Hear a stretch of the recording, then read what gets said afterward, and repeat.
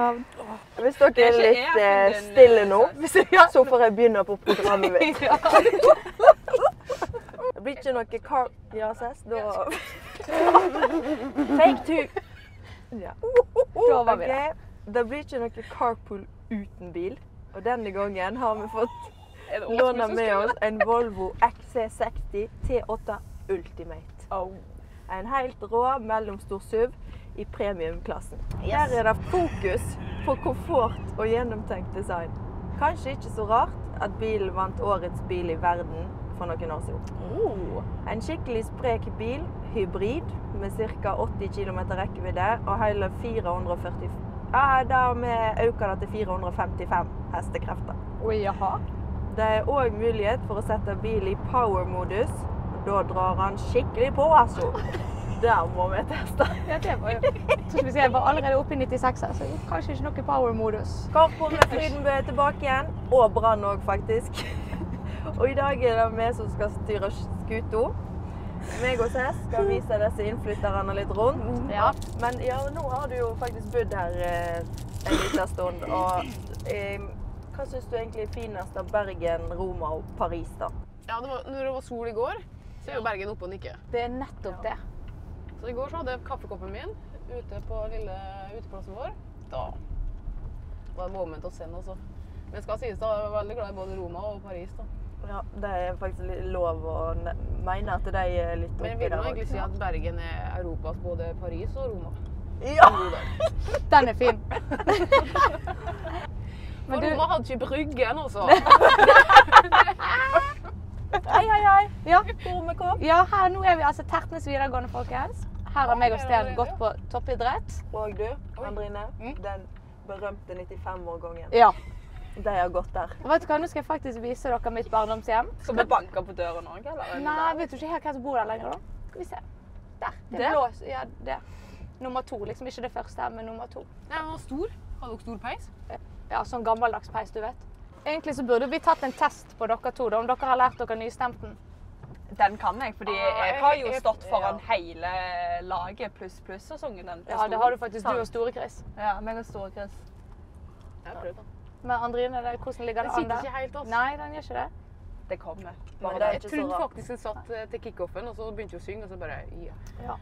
Litt rare ord inni der. Men det er Martine kjapt spørsmål her nå fra meg. Ja. Er Brann eller Viking? Brann. Brann eh, er jo på en måte den første klubben på toppnivå som jeg liksom har følt meg hjemme i. da. Ja, så Her det trente vi forresten når vi gikk på toppidrett. Ja. Så vet dere det. Nydelig. Ja. Men så det blir på en måte som eh, første forelskelse, da. Ja. Akkurat. Glemmer man den aldri helt. Nei. Eh, Martine, hvordan eh, egentlig å være datter til en utenlandsproff? Herregud. Jeg kommer meg liksom ikke bort fra det spørsmålet uansett hvor jeg kommer. Jo, Men men du vet jo hva målet ditt i livet er. Ja, er. det har vi snakket om sist. Ja. Målet mitt i livet er at eh, folk skal komme til pappa og spørre Er du faren til Martine Østenstad? Riktig. Ja. Det må Men det tror jeg allerede har spurt faren din om, faktisk. Jeg bare, far, skal du synes du er faren til Martine? Ja, takk, takk, Takk, takk Da er vi på god vei. Men eh, på kickoffen Andrine, så sang jo jo supporterne eh, 'Verdens beste søster' til deg. Mm. Hva syns du om den, da? Ja, den kan jeg ta med meg videre, så jeg kan leve med den. Ja, Den var Ja, den var bra, rett og slett sjarmerende. Ja. Ja, den er fin. Jeg gidder ikke sette meg mål sånn som Martine om at målet er at eh, folk spør av.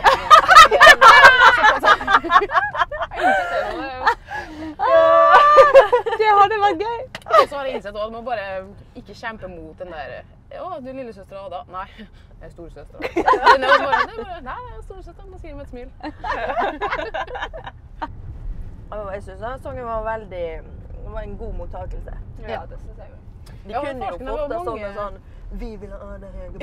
ja. Det er jo litt kjedelig. Når, de ville ha bytta deg Når kommer Ada, da? Ja. Klart man har hørt den. Ja.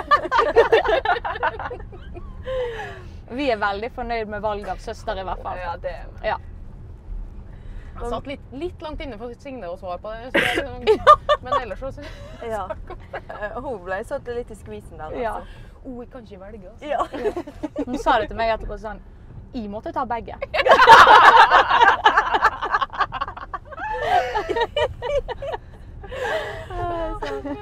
Og her er det ifra Herman Pettersen. Jeg syns det er så gøy at dette kommer. Dette må bare komme. Denne har jeg gledet meg til. Har du gledet deg? Vet du hva han har skrevet? Som er kjæresten din. Det er kjæresten min. Bare vent. Bare vent til spørsmålet kommer. Hvem på laget har mest sexy kjæreste? Skal jeg fortelle historien bak dette Ja, spørsmålet? det må vi jo nesten få. Okay. Sin, eh, Herman syntes jo det var veldig kjekt da, at vi skulle på det her carpool-greiene. Så han tenkte han skulle sende en spørsmål. Lite visste han at det, når du sender et spørsmål, så er det ikke anonymt. Ja, så det var litt kjekt at dette kom, faktisk. Men du, jeg tenker alle dere tre har jo kjærester, så dere kan jo bare begynne å argumentere, da. Men kanskje det er du som må plukke? ja, Du, faktisk. siden du er den eneste single. Du må Ja. rangere dem fra én til tre. Ja. Jo, jo, jo, jo. Bra, Mathilde. Nå er du på ball her. Men husk at du ville ha en frekken. Altså. Ja, det var det jeg skulle si. Hadde det vært Lisa som hadde skulle svart, så tror jeg jo at hun hadde tatt Herman Klink på nummer én. Ja. Tror ikke det er noe hemmelighet. Men han er litt sånn litt for pen for meg. Du må ha en frekk og stygg, var det det? Ja, så hvem velger du nå? Da er det to igjen. OK, vi går videre. Um, hva er det beste stedet i Bergen utenom stadion? Oi. Godt spørsmål. Ja, det er et godt spørsmål. Um, det er jo vel på sofaen hjemme, da. da. Ja, det blir Nordnes vel- sjøbad har vi jo vært et par ganger på. Ja. Det er jo litt deilig på en søndag. ja, Det. Og så har vi jo eh, fantastiske byfjell. Ja. Men det blir liksom veldig lite av det i sesong, sant? Ja. Det. Så Men du, har du kommet deg opp på de store fjellene? Jeg har bare vært på Fløyen ennå. I Skjølriken? Nei, ikke Stolsen? Nei. Nei. ja. Eh, hvem på laget har best stil? Hmm. Jeg tror jeg gir min til deg, jeg. Ja. Må fort det. Eller Mille, men det er jo potet og potato. For dere deler jo klær uansett. Seven Days Active. Jeg fikk faktisk en ladning fra Mille i dag på Ja. klær som jeg ikke visste hun hadde. Ja, Nei. ikke? Har dere tro på seriegull i år? Ja, Ja. det er klart. Enig. Å gud, det er faktisk bare fire dager til seriestart. Ja, altså. det synes Det jeg er det er helt sykt det nærmer seg. Ja. Det er nesten litt uvirkelig, liksom. Ja. Men for meg er det elleve, da. det er jo litt småseigt, men eh, det kommer. Det kommer. Det kommer. Ja. Hvem på laget ville du ikke latt date broren din? Hvem ville du sagt da? Jeg hadde aldri latt Rakel date mine søsken. Hvorfor ikke det spørsmålet da? Oppfølgingsspørsmål. Nei, kan ikke ta. Ble ikke vi enige om at Mille ikke var en kandidat her? Jo, altså hun er jo kjæreste med broren min, så jeg er jo helt uenig i at ja. uh, hun ikke skal få date broren min. Du er egentlig veldig fornøyd Ja, med svigersøster. Ja. Hvem seriøst syns dere to Mille, da? Jeg syns kanskje... Jeg synes kanskje Mille er søt, jeg. Ja, jeg, eh, Jeg tror bare det har vært det lette svaret fordi at hun er den eneste på laget som dater broren til en annen på laget. Ja. Audi, kanskje. Ja, jeg, jeg men Begge det de to er, er litt sånn players. Audi nyter uh, singellivet, er det det du sier? Ja. Ja. Ja, men sant. Å, se der! Hva? Der er vi jo. Ja. Eller Svava. Ja. Nå skal vi inn på um, Bymuseet. Og der har de en egen brannutstilling. Eh, og der står bl.a. pokalene som vi vant i fjor. Vi er de beste, heia Brann. Vi er så gode at det går nesten ikke an. Mm. Vestland, ja. De har ikke Vår er ikke kommet ennå. Altså, jeg har så mange haker på det bildet der. Tuva da, Sens. Du kan jo ikke si Ja. at du har mange haker på Ja, men. Tuva og meg og Ryd var litt lik. Vi har sånn god dobbelthake. Tuva har liksom har mange lag. Cecilie. Men dere var i hvert fall med på bildet. Hvor er du, da? Det var ikke nok med ei. Du, bare, du visste du skulle bli kaptein i år, så du bare gjorde deg klar. Jeg tror det er Ryl jeg har, ikke det? Ser litt sliten ut. Jeg har laget en liten konkurranse til dere. Jeg tenkte jeg skulle dele dere i to lag. Dere springer rundt og skal finne svar. Og første som kommer tilbake til meg, får poeng. Kan man eh, bytte lag? Kan man trade sånn eh, blir Brann ski- og fotballklubb stifta 26. september i 1908? Hvor? Jonsens kafé! Johnsons kafé. I Stavrudsgaten. Nei. Ett poeng til dere. Yes! Det er alltid lov å bøye reglene litt. Svarte feil. Nei, jeg svarte streng dommer. Hva skjedde 4. august i 1962? Ja, spring der du, Martine. Heia, Andy! Brann blir seriemester! Ja, det er riktig. Det er riktig. To viktige hendelser skjer i 1976. Hvilke? cupen? Det bygger Første mål er vinner. Du, du må skyte, da. Der var knallskudd. Oi!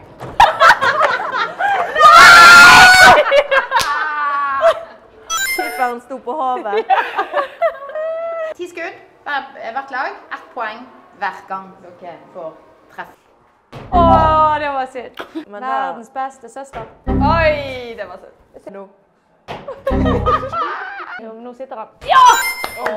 Nei, det gjorde det ja. Det er tre. Ja, to, Yes. Oi, oi, oi. tre. Å, fy faen. Andy. Ja. Stong Ja. Oi, nå har jeg mista trua på meg. Ja! Å nei, nå Ja da. Yes. Fem. Fem poeng. Ja. Boom.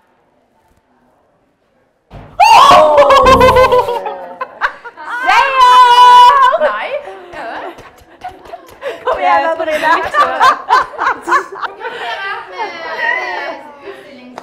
Andrine.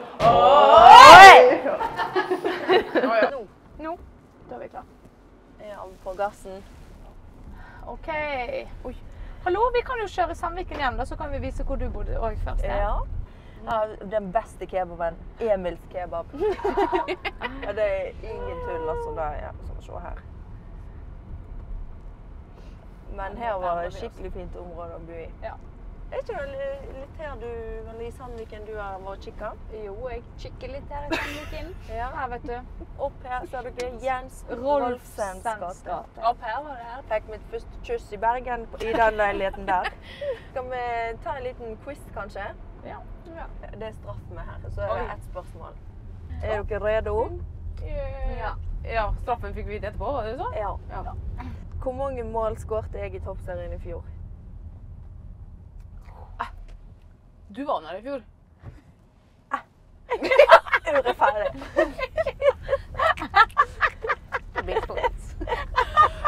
I toppserien. Ja. Ja, uten kø.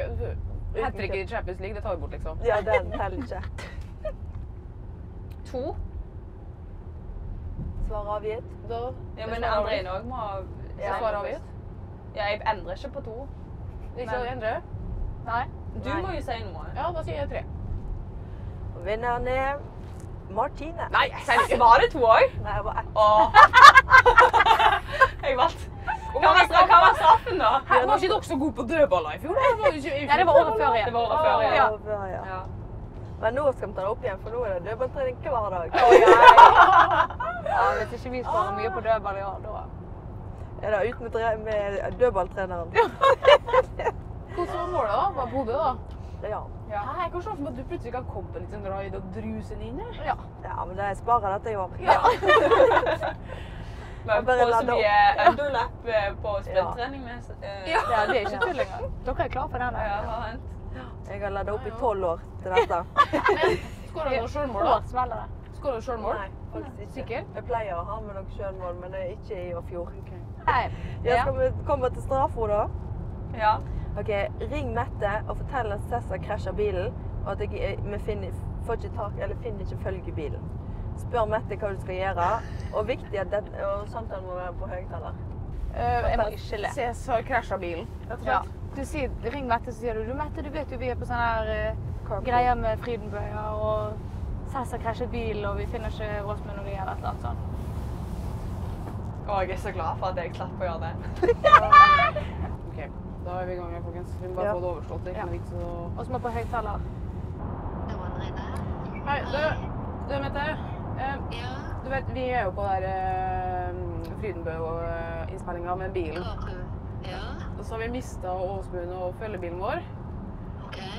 Og så har det skjedd en ting, for det var en sånn innkjørsel der hvor det kom en bil som skrapa litt borti. Eh, Det har ikke datt av noe eh, greier, men overfor bakhjulet så er det kjempekul med en del gode skrammer. Så det er såpass at vi får ikke åpna døra bak. OK. Da ringer jeg til Åsmund, kanskje, eller har dere prøvd det? Ja, vi, eh, vi, vi, har ikke fått, vi får ikke tak i dem. Eh, Jeg prøver å ringe han, jeg. Og så ber jeg han ta kontakt med dere med en gang. Så. Ja, så er vi litt redd for at Cess har brekt eh, noe. For at Sitter jo i førersetet, men eh, Så vi vet ikke om vi skal ringe en skille eller uh, Vi ja. Jeg ringer uh, Sten. til Kristian. Christian. Jeg ringer til Åsmund. Hvor står dere nå? Ja, for hos, hos Sten var helt fra seg, så vet jeg liksom ikke hva jeg skal gjøre. Eh, hvor er dere nå, da? Jeg bor, eh, Martine, Martine, hvor er vi hen? Nei Åsane. Åsane det. Du, eh, forhold dere rolig. Jeg skal ringe alle jeg kan med en gang. sant? Ja. Ja, takk, Mette. Ja, jeg skal gjøre det. Jeg skynder meg. Ha det, ha det.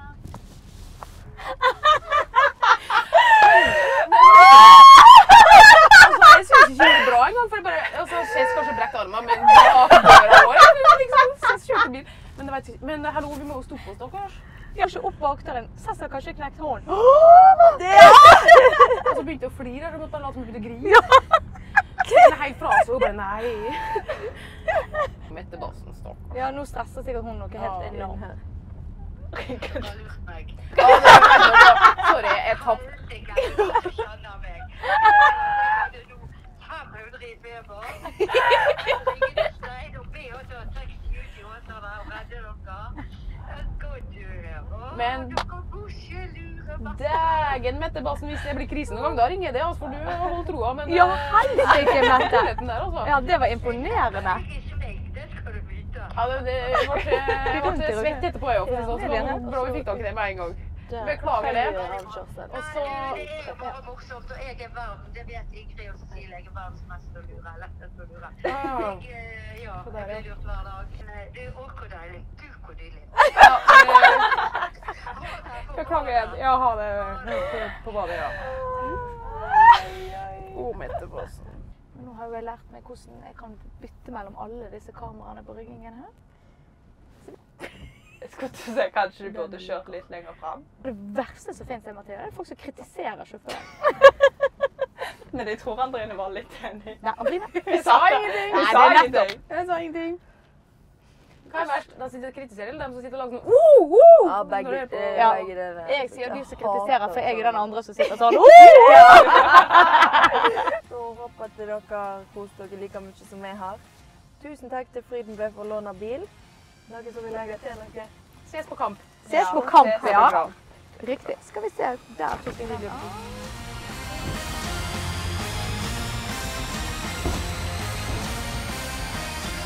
Ah. Takk for lånet. Jo, var det kjekt? Veldig. God bil.